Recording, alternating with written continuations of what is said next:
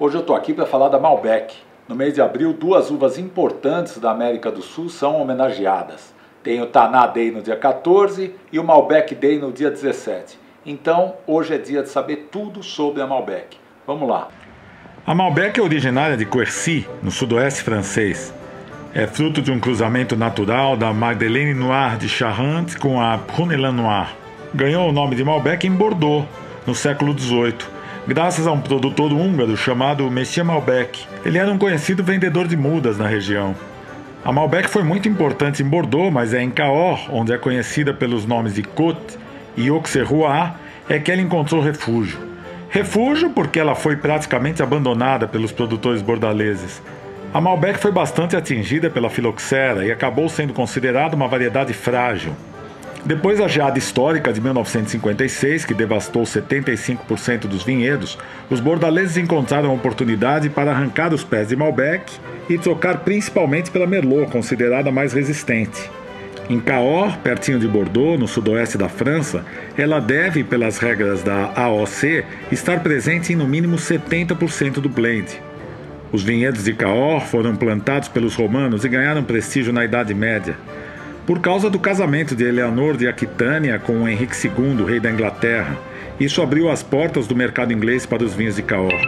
Os bordaleses não gostaram de ver o vizinho privilegiado e pressionaram pela criação de uma taxação exorbitante e uma lei absurda, que só permitia a compra de vinhos de Cahors ou de qualquer lugar da Gasconha depois que toda a produção de Bordeaux estivesse vendida. Só em 1777, o ministro das Finanças da França, Jacques Turgot, acabou com essa história.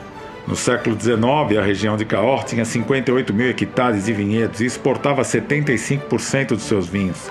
A filoxera fez um estrago terrível e os vinhedos tiveram que ser replantados. Para se ter uma ideia, hoje são apenas 4.200 hectares. No sudoeste francês, a Malbec está presente também em Bergerac, Pécharmant, Côte de Duras, Bouzet e Fronton. Em Bordeaux é uma das seis variedades tintas autorizadas e está em alguns cortes.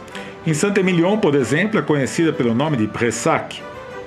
No Loire é autorizada em cortes dos vinhos de Anjou.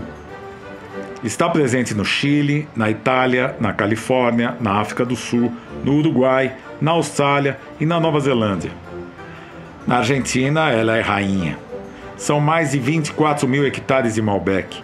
O responsável por levar a variedade para a Argentina foi o agrônomo francês Michel Pouget, em 1868.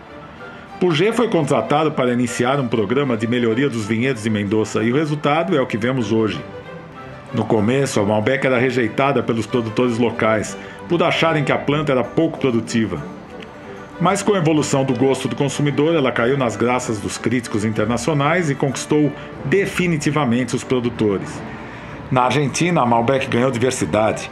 É possível encontrar desde vinhos mais simples até os mais complexos. É uma uva com muitos taninos e que favorece a harmonização com as carnes argentinas. Casamento melhor impossível. O Malbec argentino tem notas de ameixa, amora, violeta, tem estrutura para envelhecer em barrica e com isso ganha complexidade de aromas e sabores. Deu vontade de tomar um Malbec? Aproveite! Saúde!